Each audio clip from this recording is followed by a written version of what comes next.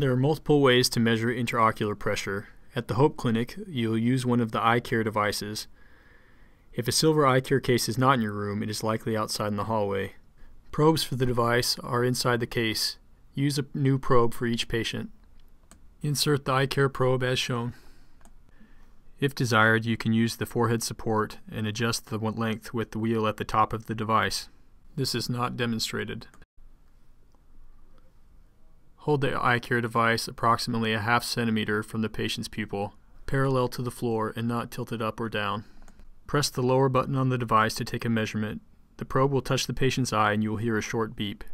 Six measurements are needed for an intraocular pressure reading. If you successfully obtain an IOP reading, you will hear a longer beep. The IOP will be displayed on the back of the device. Next to the pressure reading will be a P with a dash. If the dash is an underscore, then this is a reliable reading. If the dash is in the middle and the pressure is greater than 19, repeat the measurement. If the dash is at the top, then repeat the measurement. Here's another example of how it might look and sound in a patient encounter. Could you look straight ahead and keep your eyes open? After measuring both eyes, discard of the probe in the sharps container. After measuring both eyes, discard the probe in the sharps container by pressing the measurement button. On the chart, there is a line to record the intraocular pressure for each eye, as well as the time and method of measurement. Remember OD stands for right eye and OS stands for the left eye. We record the time because there can be variation in the IOP depending on time of day.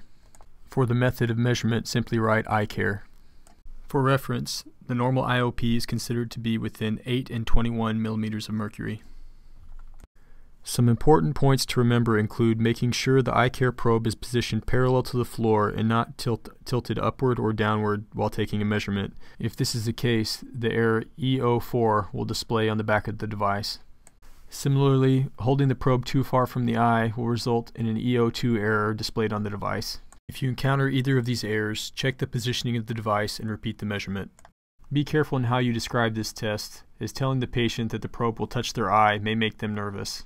If a patient specifically asks about the probe touching the eye, it may be helpful to say that the probe touches the tear film and the patient will not feel it. Finally, if you need to help hold the patient's eyelids open, do not press directly on the globe. This could lead to a falsely elevated pressure. You can pull the edge of the eyelid up to the brow bone and hold it there instead of putting any pressure on the eyeball itself.